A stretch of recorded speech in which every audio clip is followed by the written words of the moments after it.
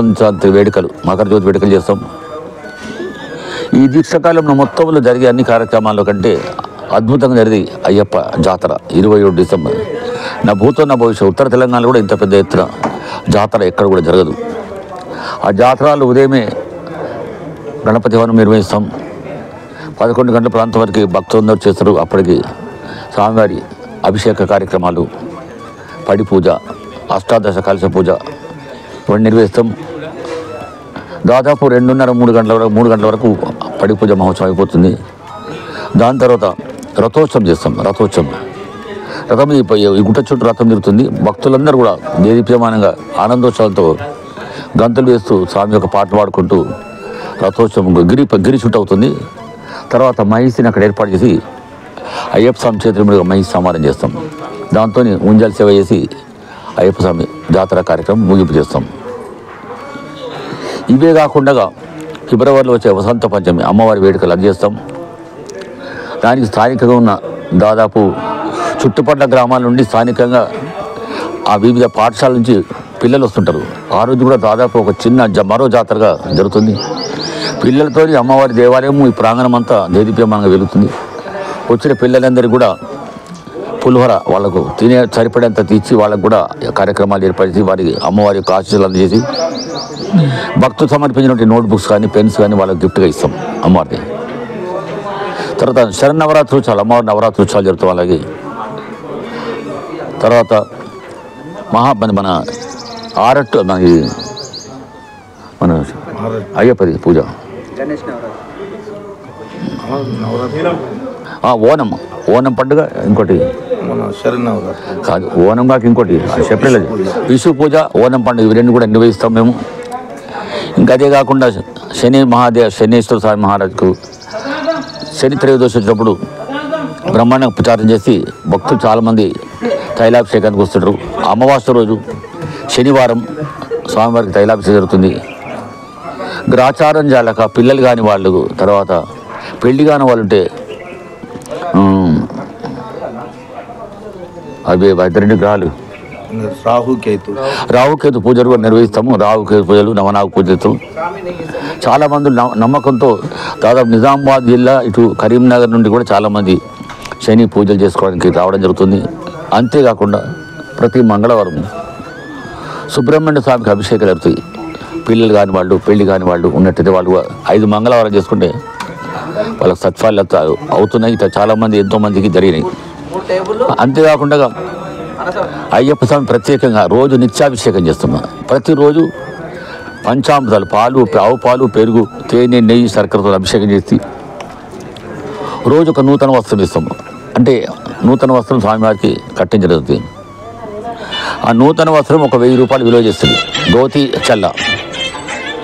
ఎవరైనా అయ్యప్ప స్వామి భక్తులు వాళ్ళ జన్మదినం కానీ బర్త్డే పెళ్ళి రోజు కానీ జరుపుకోవాలనుకుంటే వాళ్ళు ఇక్కడ పదిహేను వందల రూపాయలు చెల్లించినట్టయితే స్వామివారికి ధరించిన ధోతి వాళ్ళు కట్టుకోవడానికి ఇష్టం. ఇచ్చిన తర్వాత వారి సమక్షంలో అయ్యప్ప స్వామికి అప్పుడు అభిషేకం చేసి వారికి ఆశీస్సులు అందజేయడం జరుగుతుంది. పదిహేను వందల రూపాయలు చెల్లించినట్టయితే వాళ్ళకు సుమారు వెయ్యి రూపాయలు విలువ ధోతి అభిషేక కార్యక్రమాలను నిర్వహిస్తాం. అందులో ఆ ధోతి స్వామివారితో స్వామివారి తీసుకెళ్తే వాళ్ళు భవిష్యత్తులో ఇంకా ఎట్లాంటి పడిపూజ పడిపూజ కానీ వ్రతం కానీ గృహప్రవేశం కానీ శుభకార్యాలలో వాటిని ధరించి కార్యక్రమాలు చేసుకోవచ్చు. ఇలా ఇంకా చాలా వినూత్నమైన కార్యక్రమాలు నిర్వహిస్తున్నాం భక్తుల యొక్క ఇక్కడ ఒకటి ఏంటంటే ఈ ఈ గిరి మీద ఈ అయ్యప్ప అయ్యప్ప గుట్ట మీద ఒక అద్భుతం ఉన్నది.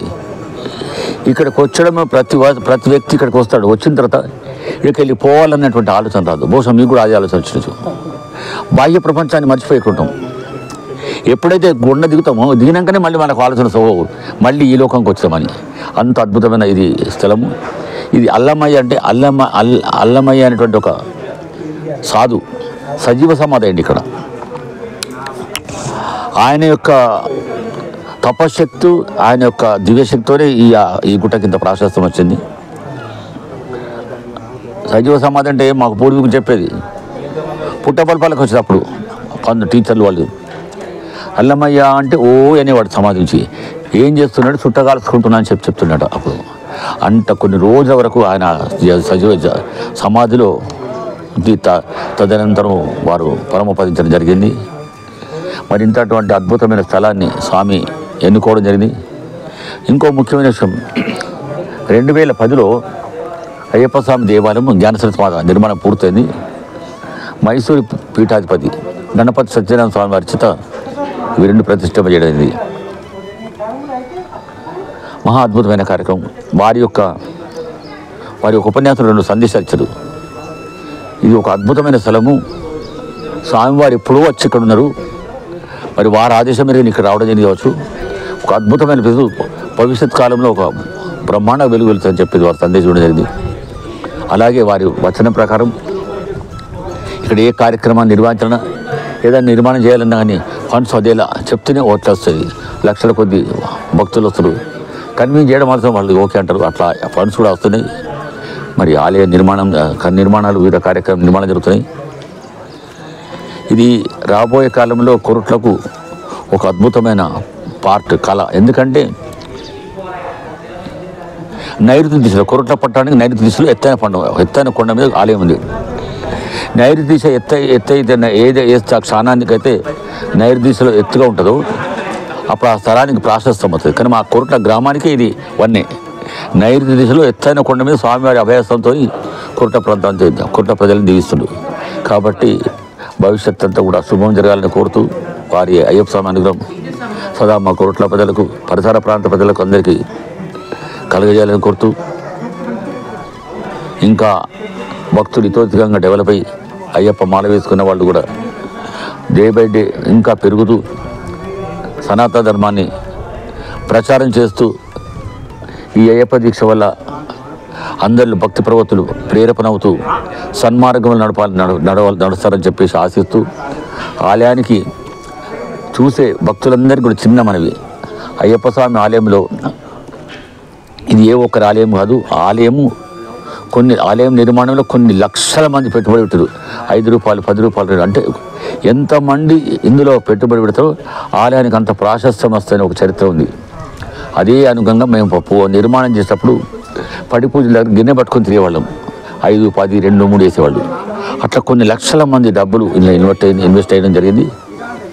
ఇంకా భక్తాదులందరితో కోరేది ఏంటంటే ఈ శక్తి శక్త్యానుసారంగా అయ్యప్ప స్వామి ఆలయానికి హితోధికంగా నిధులు చేయవలసిందిగా కోరుచున్నాను. నా పేరు సిద్ధిరాల నారాయణ గురుస్వామి వ్యవస్థాపక శాస్త్ర గౌరవాధ్యక్షుడి నా cell number nine double four zero seven five double two three nine. గమనించగలరు మీ సహాయ సహకారాలు అంది అందజేస్తూ ఇంకా ఆలయ అభివృద్ధిలో మీ వంతుగా సహాయక సహకారాలు అందించవలసిన కోరుతూ సెలవు తీసుకుంటాను. స్వామి సన్నా నిజంగా సార్ చాలా చాలా అమూల్యమైన ఇన్ఫర్మేషన్ అనేది ఇచ్చారు.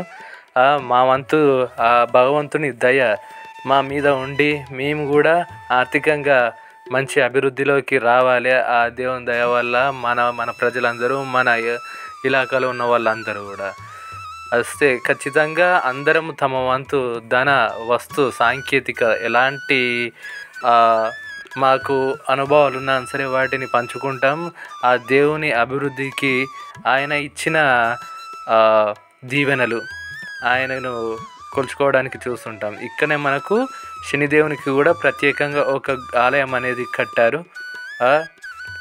శని కృప ఉంటే ఏ కష్టాల నుండి సరే మనము ఈజీగా గట్టెక్కడానికి అవకాశం అనేది ఉంటుంది ఎందుకంటే శనిదేవుణ్ణి చూసి అందరూ భయపడుతూ ఉంటారు. కానీ ఆయనే మనకు ధైర్యాన్ని నమ్మకాన్ని బలాన్ని మన వాళ్ళు ఎవరు మన కష్టాల్లో ఉన్నప్పుడు మన తోటుండే వాళ్ళు ఎవరు అని అని చెప్పి నిజమైన వ్యక్తులను నిజమైన బంధువులను నిజమైన మిత్రులను మనకు దగ్గరగా చేరుస్తూ ఉంటారు. ఇది ఆ శనిదేవునికి సంబంధించి ప్రత్యేకంగా నిర్మించిన ఆలయం. ఇప్పటిదాకా మనము అయ్యప్పవారి టెంపుల్ అదిగోండి అటు పక్క ఉన్నది. సరస్వతి అమ్మవారి గుడి వచ్చేసి ఇటు ముందు భాగం కనిపిస్తుంటుంది. ఇక్కడ మనకు మన ఇక్కడ కాళేశ్వరంలో ముక్తీశ్వర ఆలయంలో ఎలా అయితే రాహు కేతు ఇది వచ్చేసి కేతు కేతు పూజలు అనేటివి జరుగుతూ ఉంటాయి. ఈ పక్కనే మనకు ఇది కేతు కేతు అండ్ దీని పక్కనే మనకు రాహు కూడా ఉన్నాడు. సో ఇక్కడ రాహువు కేతువులకు సంబంధించిన పరిహార పూజలు అనేటివి జరుగుతూ ఉంటాయి. శనిదేవునికి సంబంధించిన పూజలు అనేటివి జరుగుతూ ఉంటాయి. సరస్వతి అమ్మవారికి సంబంధించిన పూజలు. ఇప్పుడు వచ్చే వసంత పంచమికి ఈ గుట్ట మొత్తం కూడా జనసందోహంతో నిండిపోయి ఉంటుంది అని అని చెప్పి ఇంతకుముందే మనకు అయ్యవారు అనేది చెప్పారు. వీరే కాకుండా ఇక్కడ అభయముద్రలో శ్రీ అభయాంజనేయ స్వామి వారు కూడా ఉన్నారు. మనకు ఈ శనిదేవుని పక్కనే ఇంకొక చిన్న ఆలయం అనేది ఉపాలయం అనేది ఉన్నది. దాంట్లో ఆ ఆంజనేయ పుత్రుడు మహావీరుడు ఆంజనేయ స్వామి వారు ఉన్నారు ఆయన దగ్గర నుండి మనం కొంచెం ముంగడికి వెళ్ళగానే మనకు ఆదిశేషు ఆదిశేషు ఒడిలో మనకు నవనాగులు తొమ్మిది రకాలైన సర్పరాజాలు అనేటివి ఇక్కడ ఇది తయారు చేసి పెట్టడం జరిగింది. ఎవరికైనా సర్పదోషం ఉన్న రాహు దోషము కేతు దోషము ఇలా అంతేకాకుండా శని పూజలు నా ఆంజనేయ స్వామికి సంబంధించినవి. ఇలా ప్రతి ఒక్కటి మనకు అందుబాటులో అన్ని రకాలుగా అన్ని దేవుళ్ళు అందుబాటులో ఉన్నారు. ఇదంతా మనం మన పరిసరాల్లో ఉన్న వాళ్ళందరికీ కూడా దీనికి సంబంధించిన ఇన్ఫర్మేషన్ అనేది ఇవ్వాలి. ఆ ప్రతి ఒక్కళ్ళు రావాలి దర్శనం చేసుకొని అన్ని రకాలుగా వాళ్ళు అభివృద్ధి చెందాలి.